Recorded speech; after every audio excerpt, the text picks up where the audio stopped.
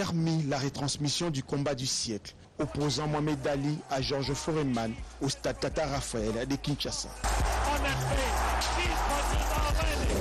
Aujourd'hui, elle reste l'ombre d'elle-même. Le ministre de la Communication et Médias, porte-parole du gouvernement, Patrick Mouyaya Katemboué, qui tient à la modernisation de son secteur, inspecte le lieu en visitant ses installations.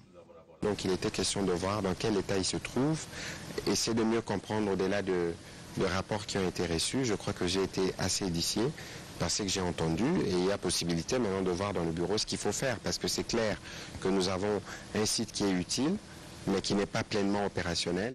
À l'attente de sa réhabilitation, le monitoring constitue la tâche principale de ces sites, l'âme de son existence. Son directeur estime que le réseau national des télécommunications par satellite Renatelsat peut générer de recettes à la République.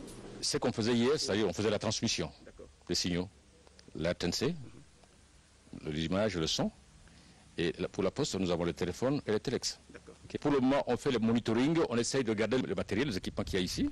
Premier en Afrique centrale, avec une technologie de très bonne qualité lors de sa création, un site chargé d'histoire, une plaque datant du 24 novembre 78, posée par le maréchal Mobutu lors de l'inauguration, reste encore visible.